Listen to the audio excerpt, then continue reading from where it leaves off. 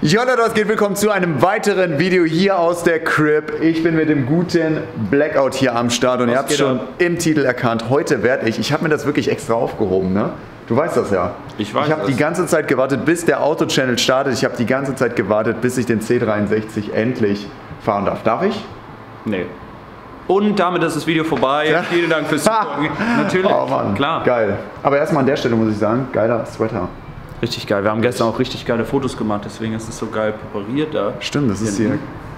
Alles ist so clean. Leute, habt ihr das eigentlich schon gesehen? Habt ihr das schon gesehen? Ich weiß es gar nicht. Wir haben den Schreibtisch jetzt, oder besser gesagt, ihr habt das gemacht. Ähm, den Schreibtisch jetzt hier an die Seite. Sieht auf jeden Fall viel, viel besser aus. Wir haben viel mehr Platz und die Wohnung wirkt jetzt so riesig, beziehungsweise noch größer. Das ist echt schön, oder? Echt richtig schön. ist echt Gefällt mir richtig auch schön. richtig. Am Anfang hat man so richtig so Stufen gesehen. Hier sieht man es noch. Guck mal hier von dem, Ja. von dem äh, Tisch. Das ist krass, wie sich der Boden verändert durch Sonne, durch Licht, durch Bewegung und so weiter. Aber der Übergang ist fließend und dann sieht man das nicht mehr. Da war das auch. Aber guck mal, was wir hier gestern für Fotos gemacht haben. Ja. Niemals. Hier innen in der Wohnung. Leute, schaut euch das mal an. Wer hat die gemacht? Ha, Marc natürlich. Ja. Liebe Grüße an Marc, der gerade zuschaut. Genau, hier sein. Instagram-Tag at mbmediaworld. Checkt es auf jeden Fall ab. Geiler Typ. Ist mein, Beziehungsweise mein alle meine nächsten Fotos werden von ihm sein, weil Ja. wir so viel geshootet haben. War, also er kann es halt wirklich. Ja. Er kann es halt wirklich. Und er hat einen geilen Stil und ein richtiges ein gutes Auge für, für ein ungutes? ein gutes, Und, und ein gutes. Und ein gutes Auge für, ungutes für Auge. Blickwinkel, für verschiedene. Wie heißt denn das? Äh, Blickwinkel. Blickwinkel. Blickwinkel. Auf jeden Fall, wir fahren heute AMG. Ich bin echt gespannt. Da Fährt er das sich richtige Outfit an hier. Gut? Ja, fährt er sich krass Geil. anders als zum CLA. Ja, weil total. ist ja Heckantrieb. Wir haben 8 Zylinder statt 4. Wir haben wie viel PS? 510. 510 PS und äh, Biturbo, Biturbo. Also allgemein einfach krank. V8. V8. Soll mal runtergehen? Ja? Ich habe schon Bock. Ja? Ja? Mhm. Let's go. Ich bin richtig aufgeregt. Let's go! So, wir sind in der Tiefgarage angelangt und stimmt. Man muss sagen, das ist pervers. Unsere Oder? Parkplätze sind einfach eine Frechheit. Das ist eine Frechheit. Oh, es ist so schön. Wie findest du eigentlich den Lotus? Du hast ihn ja letztens finde ihn live richtig gehört. geil. Also ich, äh, ich, ich bin verwundert, wie tief er ist. Ich saß noch nicht drin, ich habe ihn noch nicht richtig von drin gesehen. Von hinten sieht er pervers geil aus. Ich finde, der Diffusor Ich muss hinten wirklich ist asozial. dir was sagen, Ja. was, du was dir gefallen wird. Und zwar sage ich ja immer, ich finde große Spoiler scheiße. Ne? Ja. Der könnte tatsächlich noch ein bisschen größer sein. Nein, äh, Ich wie meine das, ich mein das geil. ernst. Und ihr kennt. Leute, das nicht, hat er gerade nicht gesagt. Das hat er gerade nicht gesagt. Ich bin mit David immer am, am Reden, mit, äh, am Diskutieren, ob ein Spoiler geil ist oder scheiße. Und wir können ja mal ganz kurz hier zu meinem rüber. Und hier zum Beispiel finde ich das perfekt und mehr darf nicht. Mehr darf nicht. Wer da was drauf, um Gottes Willen, nee, bitte nicht. Aber zu dem Auto muss ich sagen, passt das und es könnte noch größer gehen. Also bis hier oder so, oder so die Höhe oder so, wäre auf jeden Fall geil. Weißt du, so Need Ja. for Speed damals. Oh ja, ja, geilen- ja. Aber dann auch Carbon, oder? Oh ja, das wäre das wär natürlich richtig krank. Muss mal wissen, Mann. Ja, kommt vielleicht was. Ja. Ich habe am 13. September Geburtstag und ich habe mir gedacht, komm David. Wünschst du dir einen Carbon-Spoiler? Ja, Vielleicht genau, schenkt ihn dir ja, jemand, oder? Wahrscheinlich. Nee, also finde ich auch richtig geil, der Diffusor hier unten. In der Mitte, dass der Auspuff ist, ist richtig geil. Die Lichter sind so fucking pervers. schön, Wenn man ne? hinter dir fährt im Dunkeln, wir sind ja, gestern was essen äh, gefahren, Digga, dann, dann sieht das von hinten aus wie ein Ferrari oder Porsche oder. Echt? Nee, nicht Porsche. Also ein richtig krankes. Also es ist halt. Du siehst, jeder guckt auf der Straße.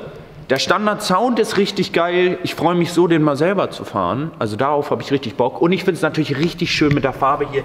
Dieses Glitzermäßige, was auch dieser Kosmos-Lack, den mein AMG vorher auch hatte, der CLA. Und dann halt in Verbindung mit diesem Matt. Das sieht wunderschön aus. Richtig geil. Geile Elemente. Super geil hier hinten. Kannst du in den Motor reingucken. Das ist ein Mittelmotor, oder? Ja, Mittelmotor. Mittelmotor. Also man hat hier wirklich einen großen Kofferraum. Den kann ich dir dann demnächst zeigen, wenn du den mal abcheckst. Felgen sind schon geil in schwarz.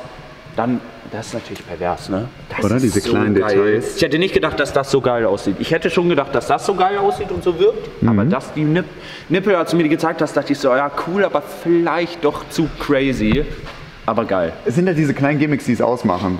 Ne? Innen habe ich ja diese Schaltknöpfe, habt ihr ja auch gesehen, die habe ich in schwarz gemacht. Und den Schaltknopf habe ich auch schwarz gemacht. Hätte ich den Neon gemacht, das wäre das wär zu viel ja, gewesen. Nee, das sieht gut Ne? aus. Wenn du hier reinguckst und alles ist schwarz, das Ja, ist gut. all black. Sonst irgendwann wird es auch Kirmes. Aber jetzt guck mal, stell dich mal einen Meter zurück. Das ist halt krass, ne? Es geht mir zur Hüfte. Das ist so heftig, komm, wie groß ich bin. Das ist halt wie ein Beziehungsweise wie flach der ist, das muss man halt sagen. Wie flach dieses Auto ist, das ist wahnsinnig. Es ist wirklich wahnsinnig. Also das ist auch ein flaches Coupé. Ne? Das ist, guck mal, das ist ein Porsche, der ist flach. aber der liegt mal noch Also tiefer. hier nochmal, zeig nochmal. Also bis, bis zur Hüfte. So, da, okay, jetzt lass mal zum. Das war die höchste Stelle, die du gerade gemessen hast, ne? Ja. Okay. hier? So. Also so hoch ist das Auto da. Ne? Also Wahnsinn. Das ist schon heftig. Aber ich muss sagen, für mich, als der nur ein Auto hat, ist sowas alltagsfähiger. Ja. Power, Leistung, aber auch Komfort, entspannt. Du hast geile Sitze, du hast Sitzkühlung, Sitzdingens, einen Gurtbringer, geile Elektronik und so weiter. Aber du hast ja noch den Transpo und das als Zweitauto, als Spaßauto ist fucking perfekt. Also das ist wirklich richtig geil. Aber egal, darum geht es heute eigentlich nicht. Genau, darum können wir ja sondern- reden, wenn ich den mal fahren kann. Genau, aber du darfst den erst fahren, wenn der eingefahren ist, weil ich denke mir halt so, man muss das volle Programm erleben und jetzt darf man den Auf nicht über Fall. 4000 Umdrehungen drehen. Und Ich glaub mir, auch- das ist so schwer, dieses Ja. Auto nicht über 4000 Touren drehen, weil bei, bei 3300, da kommt er dann an, plötzlich so geil zu sich und Da dann schreit er und ich merke so, boah, über 4000 wäre es garantiert noch geiler, aber ich darf es halt noch nicht. Es Ja. ist wirklich Wahnsinn. Aber ich finde das gut, dass du es machst und wär ich, hätte ich nicht VIP-Leasing, weil du siehst ja, was passiert. Leon ist den bei mir gefahren irgendwie Und, und, ja. hat den auch mal kurz im Begrenzer, weil er nicht gecheckt hat, wo er schaltet und so weiter. Das passiert mal. Und wenn das ein sechs Monate Leasing-Auto ist, ist es zwar trotzdem nicht so geil, aber so ein Motor kann das ab. Also Ja. selbst den, den könntest du, wenn er warm ist, schön mal hochdrehen. Aber ich kenne das, wenn das so dein Baby ist, dein wirkliches Auto, ist, was du auch behältst, Eben, das ist kein Da würde ich auch niemanden Das ist halt wirklich, es ist wirklich meiner. Also ich kann damit machen, was ich will und der gehört jetzt mir. Und hätte ich den geholt, dann hätte ich auch keinen dran gelassen, bevor der nicht 1500 Kilometer hat und Ja. schön eingefahren ist. Zum Glück. Aber apropos, sollen wir den mal anschmeißen? Ich will nämlich, ich will jetzt einfach mal hier hinterstehen und den puren, oh, zeig mal den Schlüssel. Boah. Schaut euch das mal an. Also das, da sieht man halt schon, boah, sieht das gerade schön aus. Sieht das gerade, also das sind gerade richtig geile Aufnahmen. Mach mal an. Es, man konnte den in verschiedenen Farben wählen, halt in weiß, in schwarz, in grau. Und ich fand den in weiß, der sah auch im Internet schon so geil aus. Passt zwar eigentlich gar nicht dazu, aber irgendwie dann doch wieder einfach geil. Aber man muss der sagen, sieht einfach geil aus. Die geilsten Schlüssel macht Porsche. Ja, die Ja. aussehen wie ein Porsche. Ja. So, jetzt mach mal an das gute Stück. Also der sieht schon brutal aus, ne? Hier hinten, alter Schwede. So. Mach mal Komfort mit Klappe auf. Ja, bitte.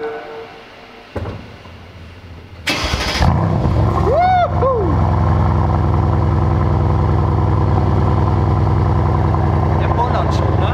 Boah, Dann Wahnsinn. wirst du den V8. Wahnsinn. Also das ist nochmal was ganz anderes. Ich habe ja einen V6 und das hier ist eben V8. Ganz andere Klangkulisse.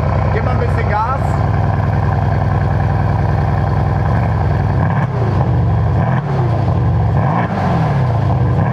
Boah. Okay, ich würde sagen, ich werde jetzt auch selber fahren. Guck mal, wie geil der Einstieg aussieht hier. Wow. Ich würde sagen, mit Ambilight und so weiter, Stage is yours. Sieht das geil Leute, aus? schaut euch das mal an. Es sieht, also es sieht wirklich aus wie ein Raumschiff. Ja. Es sieht aus wie ein Raumschiff. Diese Beleuchtung ist grandios. Da kann ich nicht mithalten. Mhm. Muss ich ganz ehrlich sagen. Meiner ist einfach Sport, Racing. Sport, dunkel. Also da siehst du gar nichts. Da ist kein Licht, wirklich nichts. Nur das Tacho leuchtet und ich glaube, das war's. Ein paar Knöpfe, hier und da, vielleicht Klimaanlage. Aber das hier, Leute, schaut euch, schaut euch mal wirklich, schaut euch diesen Einstieg an hier. Man geht hier rein. Wasch. Ist das Wahnsinn. Okay. Sollen wir eine Runde drehen? That's fett. Ich würde sagen, wir montieren jetzt die Kamera hier vorne. Wir haben so einen geilen Adapter hier. Zeig dir mal kurz. Da, schaut euch den mal an. Dreifacher Saugnapf. Den machen wir jetzt vorne an die Windschutzscheibe und dann düsen wir los. Meine erste Fahrt im C63S. Let's go! So Leute, wir sitzen jetzt im C63S AMG vom guten Blackout und ich muss sagen, ich bin jetzt ein paar Tage in den Lotus gefahren. Es ist so krass, wie groß dieses Lenkrad ist, wie weich die Sitze sind, wie man hier über diese Straße gleitet. Es ist wirklich phänomenal. Also ein ganz anderes Fahrerlebnis. Aber das Blubbern ist trotzdem sausportlich. Es ist Ja. einfach ein geiles Feeling. Und jetzt habe ich ja hier Head-Up-Display. Ähm, ich bin, äh, glaube ich, im Komfortmodus. Komfort mit Klappe auf. Klappe auf. Du hast gerade schon, was hast Start, du eingestellt? Start, ausgemacht. Stopp ausgemacht. Jetzt können wir hier noch manuell. Genau. Ähm, und wie das kann kannst ich du aber jetzt- auch hier am Lenkrad, ne? Ach, geil. Und wie kann ich jetzt in Sportmodus gehen? Das kannst du hier machen. Ah, okay, am Lenkrad drehen. Das ist grün. Jetzt bin ich im Sportmodus und schalte Ich manuell. bin noch nie im Sportmodus gefahren, dieses Auto. Entweder Komfort oder Sport Plus. Wofür, wofür Sport? Ja, genau. So, jetzt sind wir im Sport Plus Modus. Und man muss ja sagen, dieses Auto knallt im Grunde genommen am meisten, wenn man auf, aufs Gas tritt und dann wieder vom Gas runtergeht. Genau. halt, ne? Auch was Witziges, was viele von euch wahrscheinlich nicht wussten, der war ja jetzt vorhin in der Garage super laut, ne? Ja. Der Grund, warum der am Anfang so laut ist, die Leute fühlen sich immer gestört, wenn du irgendwo das Auto anmachst und der macht erstmal wumm und ist sehr laut, den typischen Kaltstart, der ist nur dank der schönen Euronorm da. Also weil wir im Auto ja Euro 6 haben, ähm, macht er das, um direkt die Katalysatoren auf Betriebstemperatur zu erhitzen, damit so schnell wie möglich die Euronorm eingehalten werden kann. Also die verrückt, Abgasnorm. oder? Weil wenn, Also- die, wenn die Cuts nicht warm sind, dann kommt halt mehr. Du kennst es ja mit einem alten Diesel oder so, weißt du, Ja. wenn du den anmachst und der ist kalt, da kommt richtig raus. Aber das, Das ist mega geil. Das heißt, wir haben gerade rausgefunden, dass die Cuts wirklich eine gute Eigenschaft Ja. haben, und zwar, dass die Autos am Anfang laut sind. Ja. So, Freunde, wir waren gerade im Tunnel, deswegen ähm, da haben wir jetzt einen kleinen Teil rausgeschnitten. Ich muss sagen, bis jetzt bin ich echt begeistert. Also das Auto fährt sich so angenehm. Ah, hier die Polizei, ja moin.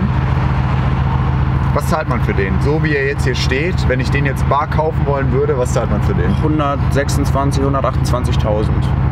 Boah. Also es ist schon eine Das ist krasse schon Ansage. viel. Aber ist auch alles drin. Ne? Also der ist fast komplett, also fast Vollausstattung. Ja. Ich dachte mir so, wenn ich mal die Möglichkeit habe, sechs Monate so ein Auto zu fahren, dann will ich auch das Head-Up-Display, dann will ich auch die Sitzkühlung, dann will ich auch die Sportabgasanlage und so weiter. Na, man kennt das ja, dann bist du da in den Baukasten, ja, komm noch das, ah ja, da zeige ich im Monat noch ein bisschen mehr. Na, und man muss ja ehrlich sagen, mit dem VIP-Leasing hat man echt einen richtig geilen Deal. Und das Auto würde ich so niemals für drei Jahre nehmen, weil ich Ja. nicht weiß, ob es nächstes Jahr oder übernächstes Jahr noch so gut läuft oder ob ich mir das leisten kann, weil es kostet viel Geld. Ähm, aber ja, wie gesagt, ist halt nur ein Leasing, sechs Monate und dann geht er wieder zurück. Von daher kann man das auf jeden Fall mal machen. Ich finde es geil, wirklich. Also bis jetzt ist das auf jeden Fall mein, mein Lieblings-AMG. Aber ich muss sagen, den CLA 45 bin ich auch schon selber Mhm. oft Probe gefahren. Und im Vergleich jetzt zu dem C63 muss ich sagen, ist der jetzt nicht viel schlechter. Nee, oder? Der hat, also erstmal Ja. der CLA hat Allrad, was ich mega geil finde. Deswegen also kommt er auch schneller weg, Genau, also an der Ampel, klar, untenrum hat er nicht so viel Bums, weil Vierzylinder, krass Turbo aufgeladen. Aber wenn man dann draufdrückt mit Allrad und der Turbolader einmal pustet, Ja. dann geht er wirklich richtig nach vorne und das ist geil, das macht Spaß. Hier haben wir Heckantrieb und das Ding wiegt halt auch ein bisschen was, ne? Wie viel wiegt der jetzt? Weißt du das? So Mhm. Das tau- kann ich dir nicht sagen. 1,6 Tonnen Der wiegt ich auf jeden schätzen. Fall über anderthalb Tonnen. Ja, auf ne? jeden Fall. Wenn nicht an die zwei Tonnen oder so. Das kann ich mir eigentlich gut vorstellen. Obwohl es noch ein Sportcoupé ist, ne? Aber es ist halt, du merkst halt, das ist auch auf Sport ausgelegt, gerade die AMG-Variante. Oder sowieso C-Klasse. Hinten sitzen macht keinen Spaß hier. Ja, Ne? Ja, Freunde, wirklich, wer schon mal im C63S hinten saß oder auch im Und über CLA 1,80 45, äh, also ihr könnt euch das nicht vorstellen. Wenn ich hier hinten sitze, ich sitze so, Ah. wirklich, permanent. Also das ist, das ist kein Spaß. Ne? Aber ein paar Mädels kann man hinten platzieren. Das geht auf jeden Fall Platzieren. klar. das krass. Also das Head-Up-Display ist schade, dass ihr das jetzt nicht sehen könnt. Ich kann vielleicht mal, obwohl, das darf ich ja nicht, ich darf jetzt nicht mein äh, Handy hier rausnehmen, das wäre illegal. Aber wenn ihr das sehen könntet, wir können das gleich vielleicht nochmal zeigen, wenn wir dann stehen. Es sieht phänomenal geil aus. Dieses Head-Up-Display ist absolut, absolut sexy. ist geil. Und was das Beste daran ist, finde ich, gerade auf der Autobahn, du kennst es, wenn man lange Autobahn fährt und irgendwie du, es ist nicht viel Verkehr und du pennst so ein bisschen rum. Ne? Ja. Und dann merkst du irgendwann so, ey, warte mal, wie schnell darf ich hier eigentlich fahren? Ah, stimmt. Und du siehst dauerhaft, wie schnell darf ich hier fahren. Und es funktioniert erstaunlich gut. Also selbst wenn jetzt hier eine Baustelle kommt und da einfach ein krass. Schild platziert wird, ich weiß nicht, ob der auch Schilderkennung hat oder wie das funktioniert, ob der mit allen GPSen vernetzt ist, aber der zeigt dir immer an, jetzt ist 30, jetzt bist du in der Spielstraße, jetzt ist 100. Ich stehe gerade übrigens richtig scheiße. Aber das würde mich echt interessieren, also wie das funktioniert. Also Ja. ihr seht neben der kmh-Anzeige, ich würde das jetzt so gerne einblenden, neben der kmh-Anzeige seht ihr wirklich jetzt gerade ein 50er-Schild als Beispiel. Das muss mit Schilderkennung zusammenliegen, oder? Beziehungsweise Und dann GPS, kannst wo du dann da halt auch, wird. du kannst halt da auch deine Musik einblenden, dein Navi und so weiter. Das ist halt Boah, cool, ne? Ist das cool. Ein Kollege von mir hat das irgendwie gehackt und da läuft äh, Bundesliga. Der guckt immer Bundesliga auf dem Head-Up-Display. Nee. Also das will ich jetzt nicht empfehlen, aber ist auf jeden Fall witzig. Ey, das ist voll geil. Da könnte man mal drüber nachdenken, ob man hier den Mercedes jailbreakt. Wahrscheinlich freut sich Mercedes. Das ist Wahnsinn. Und ich muss sagen, was mir gerade auffällt, im Vergleich zum Lotus, ich vergleiche mal gerne Lotus mit eben anderen teuren, luxuriösen bzw. auch schnellen Autos. Der Lotus ist eben handgeschaltet. Das heißt, ihr müsst jetzt gerade, ist hier super Stau, ihr müsst die ganze Zeit Kupplung durchtreten, schalten und er ist halt wirklich sehr, sehr hart und ruppig. Und auf Dauer ist es irgendwo ein bisschen anstrengend. Und hier, ich bin im Automatikmodus, ich trete einfach nur die Bremse und dann, wenn der Verkehr rollt, gehe ich langsam von der Bremse und das Auto fährt einfach automatisch los. Ja. ja und ich bin jetzt im manuellen Modus, das heißt, ich kann hier mit den Pedals am Das Lenkrad shiften. halt. Das ist halt mega geil. Beziehungsweise, wenn ich noch komfortabler fahren will, dann einfach Automatikmodus und das Ding schaltet von selber. Das ist wirklich geil. Und das macht er gut. Also Ja. auch noch besser finde ich als beim CLA. Denn beim CLA war es nicht so geil, oder? Ich doch. Das war- also zwischendurch war das es irgendwie große Problem ist, ähm, dass Autos, dass eine Automatik sich ja an Fahrer anpasst. Mhm. Das bedeutet, ähm, so wie ich fahre im Automatikmodus, die Gasstellung, wie viel Prozent gebe ich Gas, wann gehe ich vom Gas, Junge, ist abgebrannt oder was? Das Alter haben wir Schwede. kurz ein bisschen auf der Kamera gesehen, glaube ich. Ähm, das merkt sich die Automatik und verändert sich demnach. Also es ist wie ein selbstlernender Algorithmus, der einfach versteht, wie du Auto fährst und demnach funktioniert. Und weil wir unterschiedlich Auto fahren, kommst du mit meiner Automatik nicht klar. Du gibst Gas, gehst vom Gas, willst wieder Gas geben, aber der schaltet schon, weil ich dann nicht nochmal Gas gebe, als Ja. Beispiel jetzt. Ne? Und da ist es natürlich jetzt anders. Also für mich hat der CLA auch super funktioniert. Trotzdem ist die C-Klasse nochmal geiler. Und, Eigentlich krass, und wie intelligent ein Auto arbeitet mittlerweile, oder? Dass, Ja. dass es wirklich adaptiv zu deinem Fahrverhalten Ja. sich anpasst. Und ich muss dazu noch sagen, was ich oft mache, ich fahre oft im Komfortmodus zum Beispiel mit Klappe auf, ganz entspannt ähm, und fahre Automatik und trotzdem kannst du ja mit den Wippen machen. Das heißt, du fährst jetzt Automatik, willst aber kurz irgendjemand auf der Landstraße überholen, klackst du kurz zwei Gänge runter, überholst den und dann bleibt er erstmal, also der schaltet temporär in manuell quasi und wenn er merkt, okay, du schaltest nicht, schaltest nicht, 10, 20 Sekunden, wird er wieder Automatik und schaltet selber hoch. Das, Das ist ist, schon geil. extrem geil. Das ist schon richtig geil. Wahnsinn. Ich würde natürlich gerne mal Stopp geben, aber ich glaube, da müssen wir noch ein bisschen aus der Stadt hier rausfahren. Mhm. Und dann ist der gute C63 auch warm. Deswegen an der Stelle gibt es einen kleinen Time Jump und dann gleich volle Eskalation mit hoffentlich keinem nervösen Blackout hier auf dem Beifahrersitz. Oh je. Wir freuen uns drauf. Bis gleich. Freunde, jetzt, jetzt geht's hier los. Ne? Wir machen auf jeden Fall gleich noch. Stimmt, du bist ein schlechter Beifahrer. Ne? Absolut schlecht. Ähm, vielleicht können wir an der Stelle noch mal ein paar Szenen aus dem CLA-Video einblenden. Oh nein, bitte nicht so schnell. Ja. Ich hab. Ich, oh. Jetzt fliegt hier alles rum. Oh Gott. Oh, nein, oh jetzt. Oh. Oh. Fuck. Digga. Oh. Oh.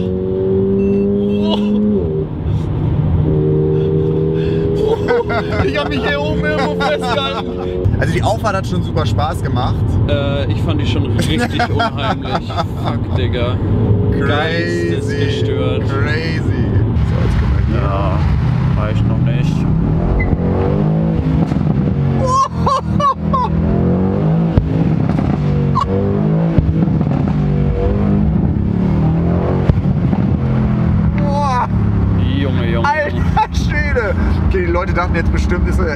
Er- kann er nicht Auto fahren? Ist er irgendwie komplett dumm? Im ersten Gang hat er Boah, ist das geil. Also es macht schon echt Spaß. Boah, selbst die ganze Kamera hier. Junge, ist das. Boah. Boah, das ich ist schon- echt kein also gutes jetzt, Gefühl. Jetzt habe ich richtig Spaß hier. Jetzt habe ich echt richtig Boah. Spaß. Boah. So, jetzt gucken wir mal hier. Das doch garantiert auch geil, oder? So ein bisschen knallen, oder? Also ohne Scheiß, wer so einen Sound nicht geil findet, der hat einfach im Leben überhaupt gar nichts verstanden. Wirklich. Okay. Gar nichts verstanden. Dann hört euch das mal an. Guck mal, wie geguckt hat. Okay, Leute, also gerade, ja, hier vorne jemand an der Ampel hat sich wirklich so umgedreht, dass das Genick nicht gebrochen ist. Ist eigentlich alles hier. Ey, Der ist gerade voll über Rot gefahren. Ey, ist- Taxifahrer. Es ist richtig geil. Was hat er gesagt? Der war der Wichser. Also schön. Jetzt kommen wir nochmal hier. Kickdown. Oh, hier fliegt alles im Auto schon umher. Ich hoffe, ich verliere nicht. Ah, ist das schön. Boah, die Kamera die ist schon lose, ne? Die ist schon, die bewegt sich schon hier. Echt jetzt? Nee, doch nicht. Du gibst dir so doll Gas.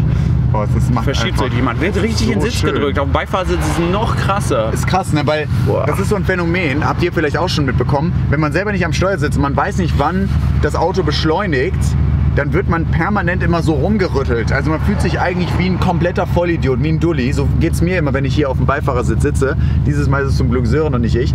Und man wird einfach durchgerüttelt. Die ganze Zeit immer vor, zurück, vor, zurück, vor, zurück, vor, zurück. Die ganze Zeit. Ja? Aber mir ist doch ein bisschen schlecht hier. Echt jetzt? Ja, ein ein bisschen bisschen. heller hier. Können wir heller machen? Jetzt hier, sind, hier ist das Schulkind hier. Oh je. Oh, wir hätten hier links gemusst. Oh Mann. Oh scheiße, jetzt bin ich falsch gefahren. Na, Weil du zu viel Gas gibst. Ja, jetzt können wir aber nochmal Gas geben, oder? Es macht so Spaß. Ich könnte das den ganzen Tag Hier, sind, machen. hier ist, glaube ich, eine. Ich glaube, hier ist eine Schule. Junge, das ist jetzt reicht jetzt.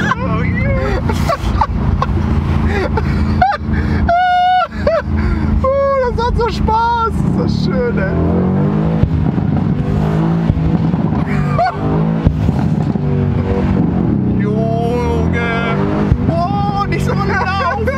fängt schon an zu regnen. Oh, Jetzt fahr links Ah, hier, fahr schön. links hier. Freunde, das ist so schön. Blink, blink, blink, blinken. Blink, ich AMG blink doch, musst du ich blinken. Blink doch, ich blink doch. Der Helm Lotus auch. Ja, Im AMG musst du blinken. So, jetzt sind wir in der verkehrsberuhigten Zone. Oh Gott. Wenn ich hier eine Anzeige, links, wenn ich hier eine Anzeige bekomme, wegen Warum denn? Das ist alles legal. unnötigem oder? Lärm, jetzt fahren wir hier mal langsam. Ne? Jetzt kommt hier eine kleine Radfahrerin. Die wollen wir ja nicht stören.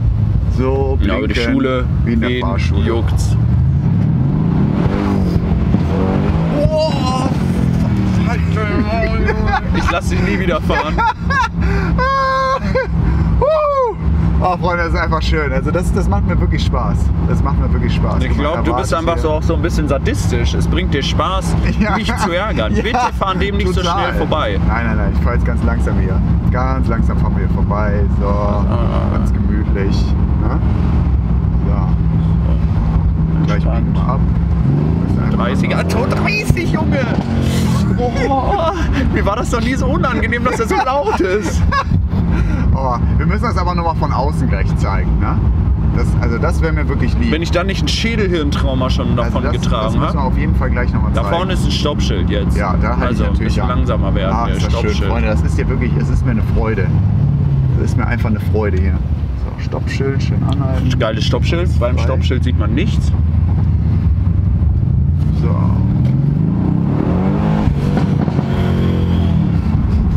Jetzt links. Ja, jetzt sind wir auch schon hier. So. Okay, ich würde sagen, wir fahren jetzt noch eine kleine Runde, Freunde. Und dann melden wir uns gleich vom Spot wieder. Und dann gibt es ein bisschen Sound von hinten mit Vollgas. Bis gleich. So Leute, wir sind jetzt hier am Spot angelangt. Ich habe den Schlüssel, der AMG läuft schon, ist warm, vollkommen heiß. Und jetzt werden wir mal von hinten dieses Soundspektakel ein bisschen testen. Ich bin mega gespannt. Innen ist es auf jeden Fall richtig laut. Ich werde im ersten Gang erstmal schön in den Begrenzer und dann ein bisschen knallen lassen. Und dann im zweiten und im dritten. Und dann gucken wir einfach mal. Annika ist gerade hinter der Kamera. Hallo. Du hast auch Bock? Bist du Sound AMG? Ja? Was? Sound AMG, hast du Bock? Ja, ja, ja. Sehr gut, dann setze ich mich jetzt mal rein, dann gibt es für euch C63S. Viel Spaß.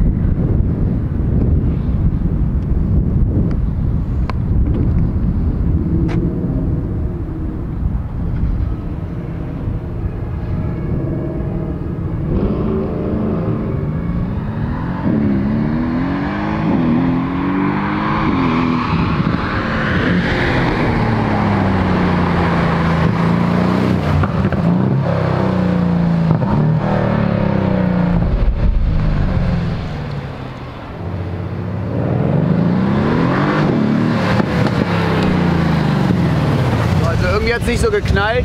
Müssen wir also normal machen. Oh Mann, das ist jetzt aber, das ist jetzt aber echt ärgerlich. Oh Mann. Okay, du bist bereit, Annika? Ja. Sehr gut. Und los geht's.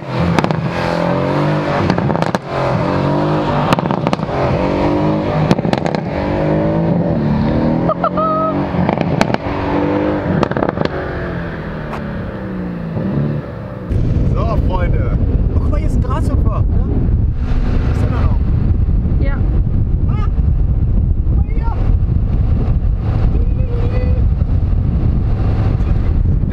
Grashüpfer weiß auch, was gut ist. Und ich hoffe, euch hat der Sound hier vom C63S gefallen. Es hat jetzt ordentlich geknallt, oder? Richtig. War sehr laut. War richtig geil, ja. Das war, oh, das war echt geil. Also ich hatte ein bisschen Gänsehaut, ja. Da hat sich schon was. Guck mal hier, der, also der tänzelt hier über die Windschutzscheibe. Das gibt's ja gar nicht. Ich glaube, der ist gerade mitgefahren, ja. Der fand den Sound auch geil. Ich hoffe, euch hat der Sound gefallen. Ich hoffe, euch hat das Video gefallen. Lasst dem guten Blackout ein Abo da. Schreibt mir unten in die Kommentare, was ihr von dem Fahrzeug haltet und was wir vielleicht noch mit dem Fahrzeug machen sollten. Was ihr noch von dem Fahrzeug wissen wollt. Vielleicht ja ein bisschen Interieur oder noch ein bisschen Exterieur. Ich bin auf jeden Fall für alles offen. Mir hat es sehr, sehr viel Spaß gemacht. Danke nochmal an Sören, dass ich das Auto fahren durfte. Und ja, an der Stelle bleibt mir nichts anderes übrig als wie immer. Genießt die restlichen Tage und das Allerwichtigste, geht steil. Whoops.